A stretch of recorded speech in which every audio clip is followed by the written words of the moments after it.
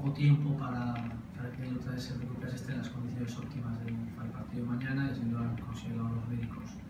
Con todo se abre las oportunidades para los jugadores que están ahí y que, y que nosotros trabajamos con ellos para que se preparen para que cuando las oportunidades lleguen estén en las condiciones. Entonces, con el móvil, con Llorente, con Juan, Juan Muñoz, trabajamos para que el, cuando el equipo les, les, requiera de su presencia, lo hagan en buenas condiciones y esas, ese rendimiento que encontremos desde ellos hacia el equipo pues nos dé mayor amplitud de rendimiento en el equipo. Y mañana es una oportunidad para que salgan, o para los que salgan, para los que estén.